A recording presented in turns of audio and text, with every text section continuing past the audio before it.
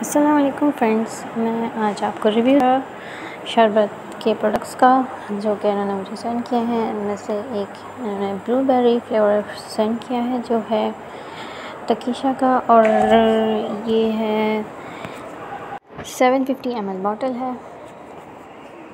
तकीशा blueberry शरबत। Second है इनका पाइन शरबत, ये पाइन फ्लेवर में है, और ये भी सेवन फिफ्टी है।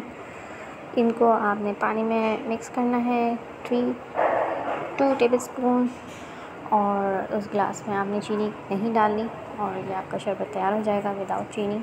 आपका शरबत तैयार तीसरा, इनकी छोटी बॉटल है, ये पीच फ्लेवर में है और ये छोटी वाली बॉटल है ढाई सौ एम की।